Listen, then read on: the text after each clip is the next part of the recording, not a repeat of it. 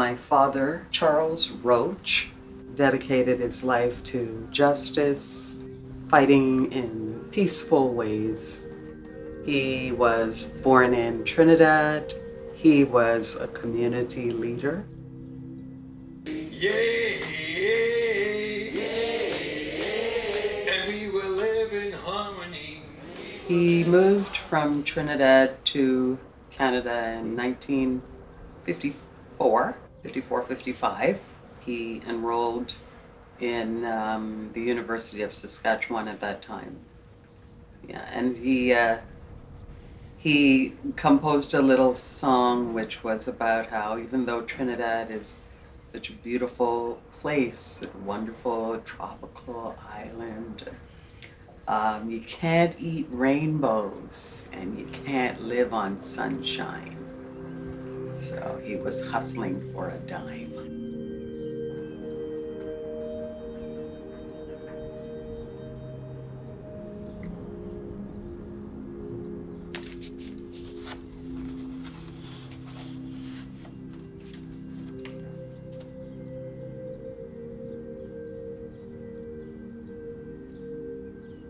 I had a hairdresser who used to say to me, You look like the combination of your mother and your father. You don't look like your mother, you don't look like your father.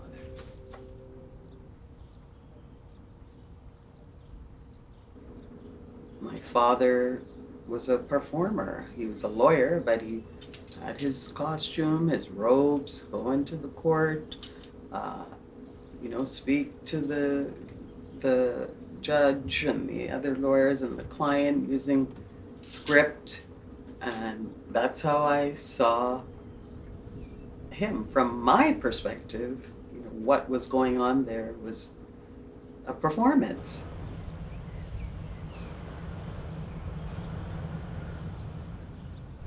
This is Five Selby. This was the second office that uh, Charles, my dad, and Hetty um, had, and home that they purchased. Dad's office was on Brunswick. Then uh, he, he left that place, moved the office in here with the house, and his main office was in the front room, which you can see there. One day, we were inside and we heard a crash somebody had thrown a bottle with red paint inside, and the paint had splattered all over the files and the desk and stuff. And on the bottle it said KKK. And it wasn't the first vandalism of its kind, of a racist nature that, that we um, were subjected to because people would scrawl on the doors and that followed us like the various places that the business was located, including up on St. Clair West. He was very well respected. But when there was conflict within the black community, he was the kind of arbiter.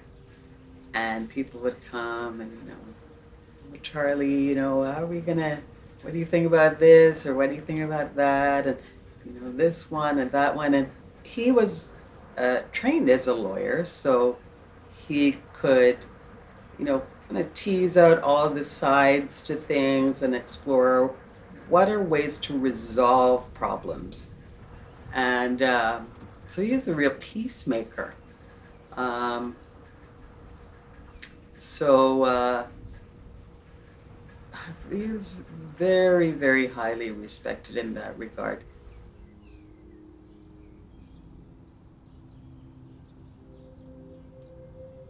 He often didn't speak about personal hardship. Um, or at least when he spoke about personal hardship, it was always with a view of hope. So I think that's how I see his optimism was fed because he believed the change. He believed in the change. sing a happy song. He said, sing a happy song. Sing a happy song. In Babylon.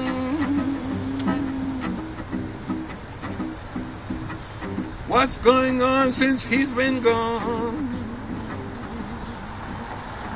He shoot down Eligon. Eleven badges, eleven guns. Shoot down Michael Eligon.